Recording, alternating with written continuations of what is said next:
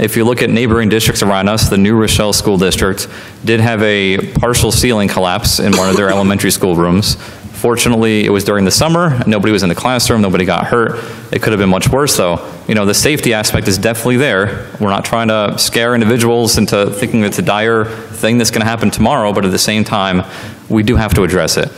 Not, we're not talking about emergency for state aid, we're talking an emergency for a potential of uh, a threat to health and safety in the building.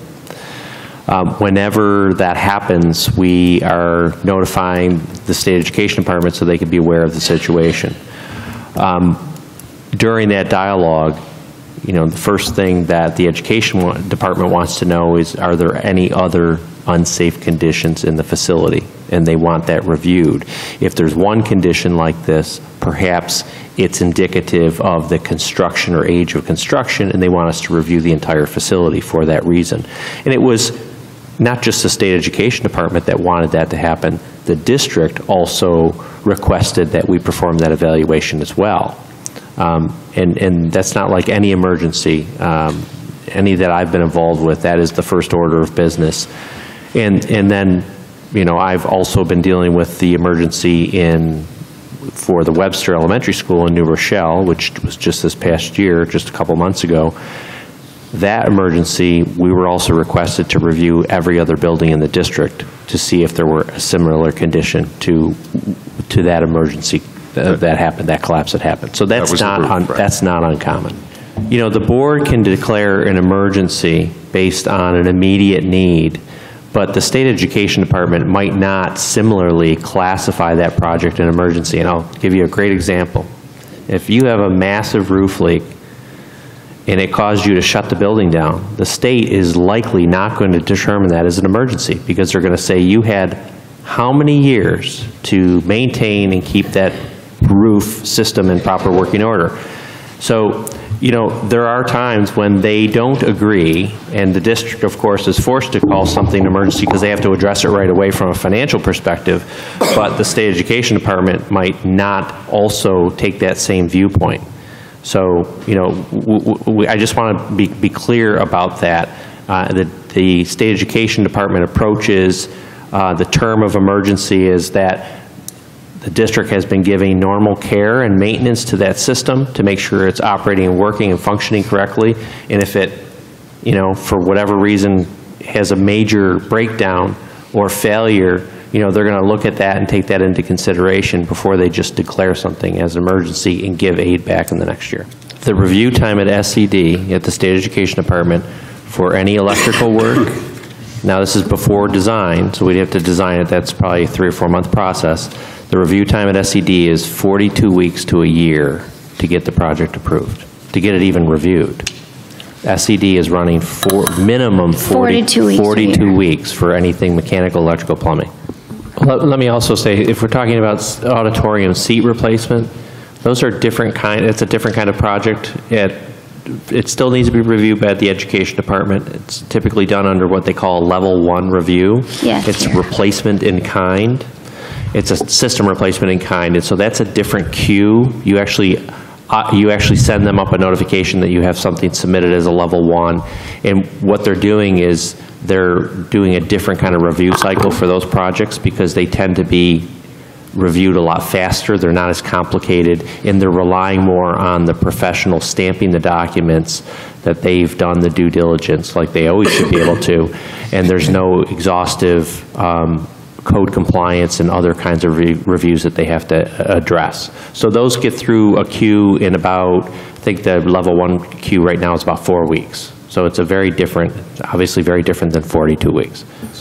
There are many exclusions in insurance for neglect. Yes. Right? And so if we're not good custodians of our buildings, insurance companies are not going to pay for losses associated with us not taking care of our buildings. So if you say, well, geez, just let that building be, and if the roof leaks, just let it continue to leak, and we'll just put insurance claims in after insurance claims. That's not how things work. Negligence is not a covered peril. When we're talking about roof failures, uh, uh, the possibilities of that within the district, we're talking about leaks, right? Because it was not too long ago that we were pretty much assured that none of these roofs were in imminent danger of collapsing. Yeah, And if Tom, that's talk changed, about, that's Tom, worth talk noting. about New Rochelle, though. Talk about New Rochelle, Well, because, I I know about New Rochelle, well, the but... leaks Yeah. in the roof, Yeah. The- the Create- major- go ahead. The major contributor to the collapse of the ceiling systems in New Rochelle was the roof leaking over time. Okay. And that deteriorated that system, was a pl- a lath and plaster system that was affixed to a wood substrate, which was part of the roof structure.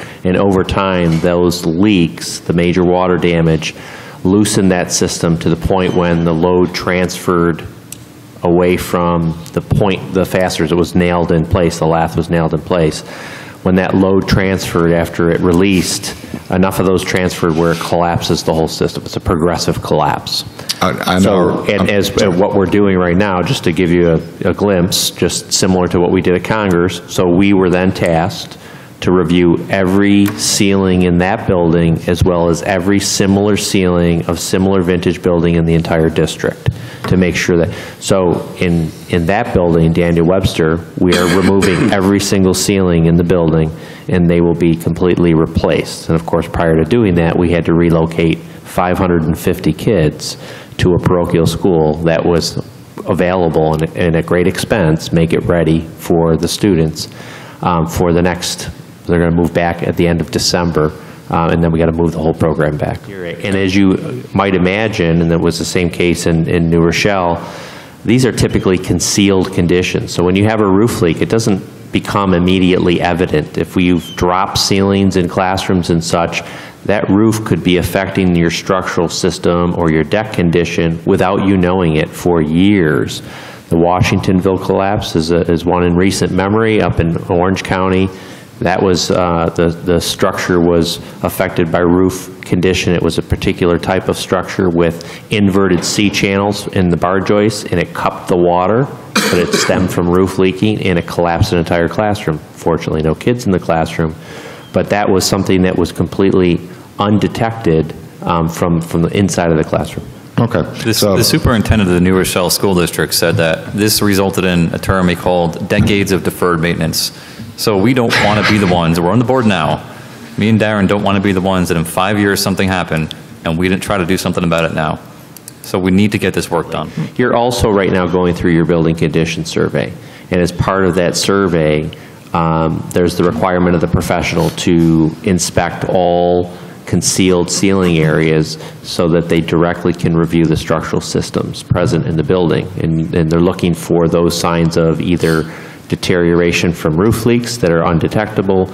Uh, You're looking for those types of joist systems that now need to be, uh, know- you know, you need to be aware of. Um, And you actually do have some of those joist systems in your buildings. Um, But they're, they're in, they're in good shape. Um, And so you're looking for those kinds of conditions. And then you will get a report, and I would assume that the professional, because it's not CS Arch that's doing your BCS, I would assume that this firm that does your BCS would bring anything of imminent um, potential threat to health and, and life safety, would bring that to your attention right away, um, and make sure it gets addressed immediately. at New Rochelle. Um, There, they're doing the vote at exactly the same time we are, but they're starting the project during this upcoming summer if the $50 million bond succeeds in New Rochelle. And my understanding from the literature available on the New Rochelle website about that bond is that notwithstanding the two schools that had serious roof problems, one of which came down, the, the approvals didn't take nearly the amount of time that we're suggesting here, which would, according to last week's discussion, prevent us from waiting a year and starting in the same summer. It's uh, two, two different issues, um, and not issues.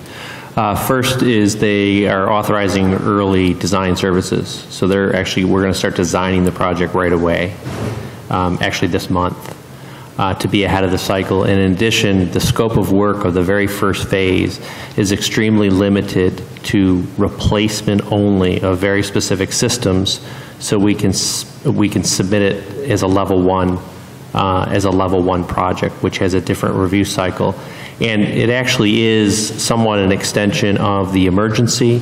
Uh, A lot of that first phase is focused at Webster, uh, for the roof replacement and the masonry that is now in disrepair that was, you know, the result and the impact of the ceiling collapse uh, in in that building. So it's, it's actually kind of an extension, the first phase is actually an extension of that project, but the other is they're not waiting till late December to authorize design services. They're authorizing them this month so that we can have those in the queue as soon as possible. Couldn't, I mean, couldn't, in order to plan out in advance, couldn't the same thing be done here? Uh, We'd prefer to have taxpayer approval on the plan and the bond before we actually go ahead and spend money on that.